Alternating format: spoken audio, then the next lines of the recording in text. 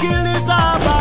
Habari yako Mtanzania, najua wewe ni mwimbaji wa muziki wa Injili na pengine una kipaji cha kuimba, lakini haujajua ni namna gani ya kuanza kuandika wimbo, na pengine ulirekodi mahali, lakini wimbo wako ukaharibiwa, na sasa unatamani kurekodi katika studio nzuri yenye kiwango katika wakati sahihi.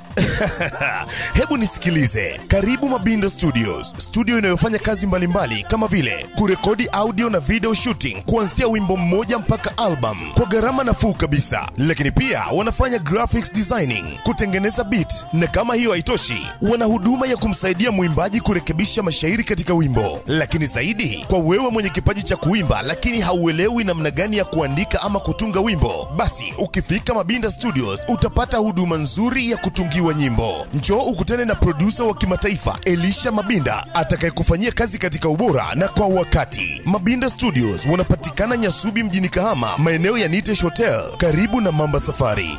Wasiliana nao leo kwa simu namba 0755 307 667 au 0719 705 739 au 0788 595 522 au kwa barua pepe imabinda 312 at gmail.com. Usikubali kubahatisha. Karibu Mabinda Studios ufanye kazi ya uhakika.